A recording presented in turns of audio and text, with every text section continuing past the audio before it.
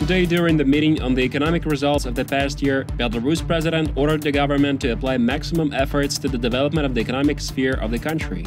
Alexander Lukashenko noted that the current government had to work hard to achieve good results. At the same time, the governing bodies need to change the style and methods of work and become as one.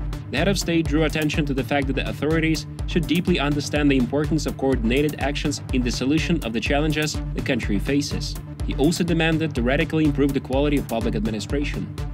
After the Olympic Games in Pyeongchang, the world will concentrate its attention on the European Games in Minsk. This was announced today by the head of the Directorate of the Second European Games, Georgi Katulin.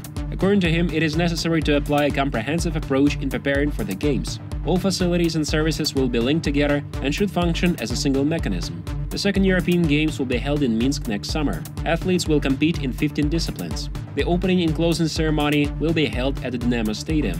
During the Games, all major sports grounds of Minsk will be involved. Kazakh students will be able to listen to online lectures of the best teachers of the pedagogical university. This is one of the projects of the educational platform of the two countries, which was inaugurated today at this Belarusian university. The staff of the center will organize internships for students and teachers. Also, representatives of the two universities plan to conduct joint webinars, including on the topic of inclusive education. In general, our pedagogical university cooperates with nine Kazakhstani universities.